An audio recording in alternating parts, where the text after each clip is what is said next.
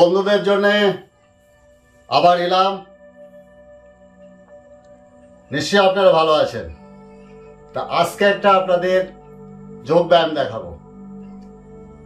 এটা খুবই সহজ যদি করতে পারা যায়। এবং কষ্ট কিছুই নেই কিন্তু। শরীর ক্লান্ত হয়েছে, আপনি ব্যাট বিছিয়ে নেবেন মেঝের উপর, কিন্তু সমান জায়গা হতে হবে। সমান জায়গার বিছানায় করা যাবে না। নিচে মেঝেতে, মেঝে যেটা হবে, সমান হতে হবে সবসময়। যেটাতে করার সময় ঘাড়ের এক্সারসাইজ এর সাথে রিলেশন আছে, এবং এটা করতে করতে শরীরের যত রকম ক্লান্তি দূর তো হবেই, নিম্নাঙ্গের রক্ত চলাচলও বৃদ্ধি হবে। অতএব এই পোর্শনের এক্সারসাইজ এটা আমি শো করব। এই আসনটি বা যোগ ব্যায়ামটির নাম হচ্ছে মর্কট আসন। এই মর্কট আসনটা আমি চারটে ভঙ্গিমায় দেখাবো। একই, একটাই, চারটে উপায়। আমি ফ্লোরে টান টান হয়ে শুয়ে দেখাবো। অবশ্যই আপনাদের মঙ্গল হবে যদি করতে পারেন। অনেকের কোমরে ব্যথা আছে, অনেকের পিঠে ব্যথা আছে। ধীরে ধীরে অভ্যাস করতে হবে কিন্তু। হ্যাঁ? তাড়াতাড়ি নয়।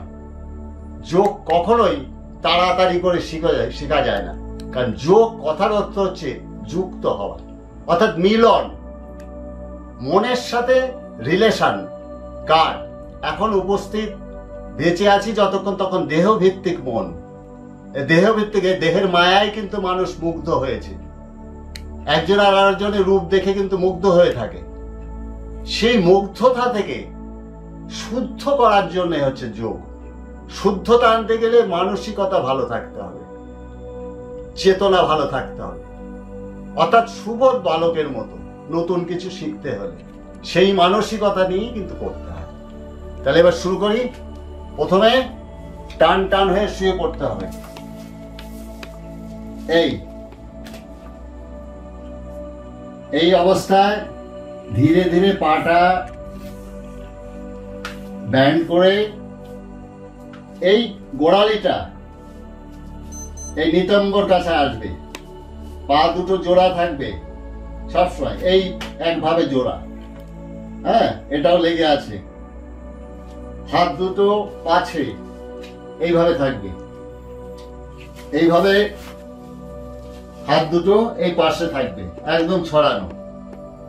আরামসে। পা দুটো জোড়া, হাঁটু দুটো জোড়া। এইবার পা যদি বাঁ দিকে নাড়ে হাতের যার যার বাঁ দিকে যদি ধীরে ধীরে, আস্তে আস্তে, খুব ধীরে ধীরে। আর হাঁটু দুটো চলে আসছে হাতের বাঁ দিকে, আর মাথা চলে যাবে ডান দিকে। ঘোরানো। এই যে স্পাইনাল কর্ড বা মেরুদণ্ডের ওখানে একটা মোচড় খাচ্ছে। এতে হয় কি রক্ত চলাচল বৃদ্ধি ঘটছে। এইভাবে কিছুক্ষণ থাকা। হ্যাঁ। এই যে উপকারিতা কোমরের যারা ব্যথা আছে, তাদের কিন্তু একটু রিলিফ হবে। হ্যাঁ? বিশেষ করে দেখা যায় যে মেয়েরা বহুক্ষণ দাঁড়িয়ে কাজ করছে, তাদের অবসর নেই। মেঝেতে একটা ম্যাট পেতে তারা যদি কিছুক্ষণ করতে পারে, সেই ক্লান্তিটা দূর চলে যাবে আবার ধীরে ধীরে আস্তে আস্তে এইভাবেই অবস্থানে আনা। আগে যেমন ছিলাম পজিশন হাত কিন্তু পাশেই থাকবে সব সময়। এইভাবে ডান দিকে পা দুটো ঘোরানো, আস্তে আস্তে। কোমর থেকে ঘুরে আসছে, কাঁধ, মাথাটা চলে যাবে হাতের বাঁ দিকে। পা গেল ডান দিকে, হাত, মাথা গেল বাঁ দিকে। যেহেতু মর্কট আসন, একটা মোচড় খাওয়ানো হচ্ছে। হ্যাঁ? এই মোচড় খাওয়ানোই হচ্ছে আসনের মূল উদ্দেশ্য, যার জন্য মর্কট আসন। হ্যাঁ? এইভাবে কিছুক্ষণ থাকা। এই একটা পজিশন আবার সোজা অবস্থায় চলে আসছে। আস্তে আস্তে আস্তে আস্তে কোন রকম জোর জবরদস্তি নয়। যার যেটুকু সামর্থ্য, ঠিক ততটুকুই কিন্তু হিলবেন। অনেকে মোটা আছেন। মোটা মানুষ কিন্তু বেশি এই দিক আগাতে পারবে না। অল্প। যেটুকু পারবেন সেইটুকু। কিন্তু প্রত্যেকটা দিন চেষ্টা করতে হবে। এবার সোজা অবস্থায় এসে কিছুক্ষণ পাটা টান করে বিশ্রাম। বিশ্রামের সময় সব আসন এইভাবে চলে আসবে। এরপরে দ্বিতীয় পজিশন আসবে। দ্বিতীয়টা কেমন করে দেওয়া হয় আবার সেটা দেখাবো। আবার হাত দুটো আস্তে করে পাশে চলে গেলাম। এবার স্থাপন করলাম। এইবার পাটা একটু ফাঁক হবে। আগে জোড়া ছিল, পা দুটো, এবার একটু ফাঁক হবে। সামনে। এবারও ওই রকমই একই প্রক্রিয়া। কিন্তু পা দুটো একটু ফাঁক হবে, মাঝখানে। এবার এটা বাঁ দিকে যাচ্ছে, এই বাঁ দিকে। যতটুকু নেওয়া যায়, ঠিক ততটুকুই।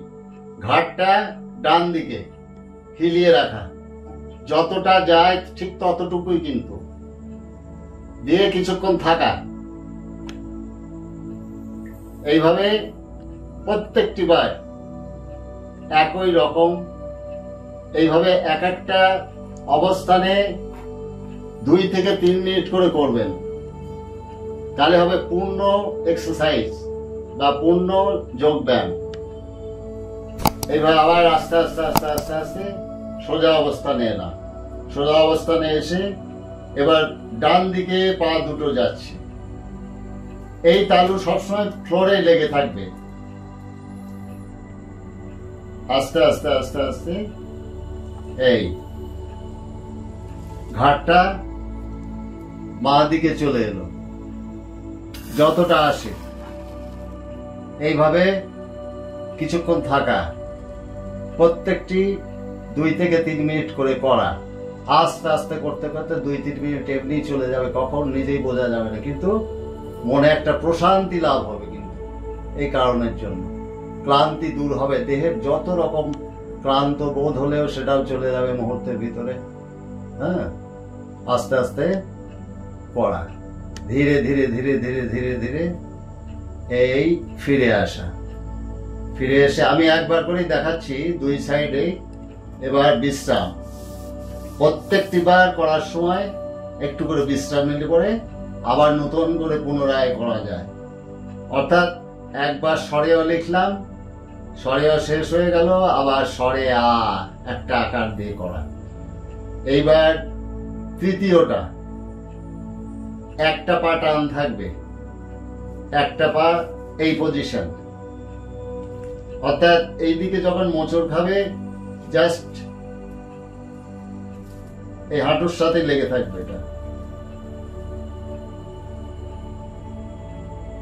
আবার কেউ এভাবেও করতে পারে। অর্থাৎ কোল বালিশ একটা পায়ের তলায় দেওয়ার মতো আর কি, ভাবটা। এই রিল্যাক্স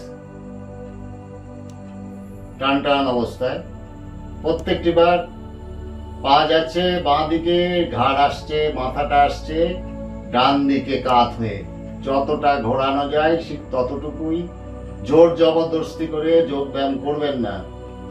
এটা বারবার বলে দিচ্ছি। শ্বাস প্রশ্বাস সবসময় স্বাভাবিক থাকবে।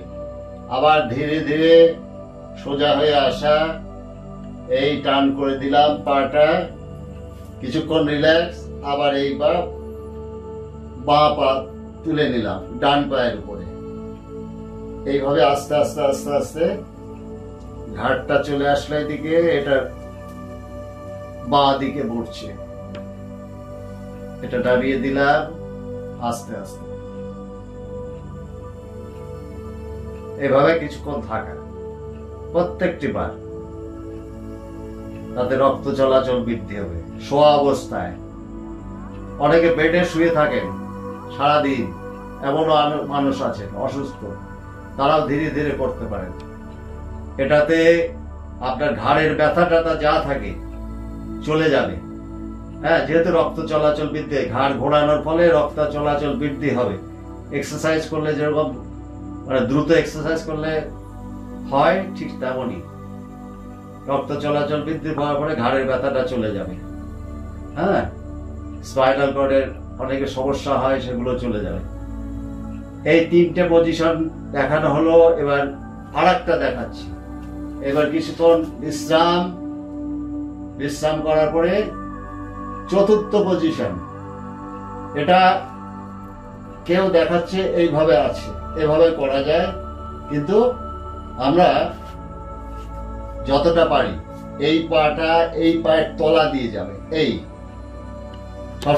এই পাটা এই দিক দিয়ে ঘুরিয়ে এই পজিশন যতটা আসে এইভাবে। হাতটা টান টান, আস্তে করে মোচড় দেওয়া।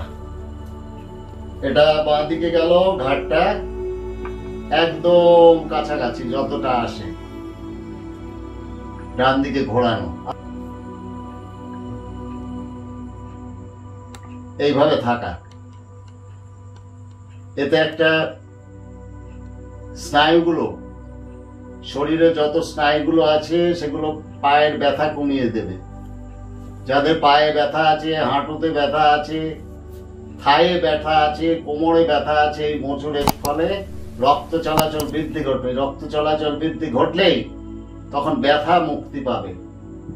এটা এবং যাদের ঘাড়ের ব্যথা অবশ্যই চলে যাবে এটা করতে করতে। ধীরে ধীরে প্রত্যেকটা দিন করবেন। কোনো তাড়াহুড়ো নেই। একটা বিছানার থেকে নিচে, সবসময় সবসময় ফ্লোরের সমান জায়গায় হতে হবে। বিছানা নরম থাকে, সেখানে হবে না। বিছানা অসুবিধা হয়। আর বিছানা হতে পারে সেটা তক্তপোষ মানে কাঠের চৌকি যদি থাকে, সেখানে একটা শুধু ম্যাট পেতে নিয়ে করা যেতে পারে। করতে পারেন আবার সোজাসুজি চলে আসছি। এবার কিছুক্ষণ বিশ্রাম। হাত দুটো পাশে আসবে। বিশ্রাম নেওয়ার পরে আবার ডান পায়ে এটা ঘুরিয়ে দেখিয়েছি। এবার বাম পা। এই পাটা তুলে নিয়ে এই পায়ের উপর দিয়ে এই তলা দিয়ে যাবে। বন্ধুরা, খেয়াল করবেন, এই পাটা এখানে স্থাপন। এই ঘুরিয়ে এই আসবে। এই। আস্তে করে নামালাম। এবার বাম দিকে, হাতটা দুই পাশে সরে গেল। এইবার ডান দিকে পা মোচড়, বাঁ দিকে ঘাড়টা। এই ঘাড় ঘোরানোর ফলে ঘাড়ের ব্যথাটা আস্তে আস্তে চলে যাবে। যেহেতু রক্ত চলাচল বৃদ্ধি ঘটবে, চলে যাবে। এইভাবে কিছুক্ষণ থাকা। থাকতে থাকতে দেখবেন যে শরীর ভিতর কি ফলাফল লাভ করছেন এবং বন্ধুরা, করার পরে অবশ্যই জানাবেন, আপনাদের কতটুকু বেনিফিট করতে পারলাম বা আপনি করার পরে কতটুকু বেনিফিট পেলেন? অবশ্যই আমাদের প্রশ্ন করে জানাবেন, আমাদের উত্তরে অপেক্ষায় থাকব আপনাদের। আপনাদের সহযোগিতা আমাদের সবসময় কামনা করি। আপনাদের যাতে মঙ্গল হয় সেই জন্যে এত কিছু করা দেহে পৃথিবী থেকে তো গোল্লায় চলে যেতেই হবে। কোনো কালেও আসব না আর ফিরে এই মানব দেহ নিয়ে। কিন্তু আজ বেঁচে আছি জন্যে আপনাদের আমার মনের ভিতর যত ভালোবাসা আছে, যেটা প্রভুর কাছে পাই, সবকিছু আপনাদের মাঝে নিবেদন করে যাই, যাতে আপনাদের মঙ্গল হয়। অবশ্যই থাকব না পৃথিবীতে। এবং আমি কেন? আমার মতো যারা আছেন, সবাই চলে যেতেন। অতএব মানুষে মানুষের কল্যাণই করা। এটাই হলো মানব ধর্ম। এবার বিশ্রাম। চারটে পজিশন হয়ে গেছে, এটা ধীরে ধীরে বন্ধুরা করবেন। আপনাদের অবশ্যই মঙ্গল হবে।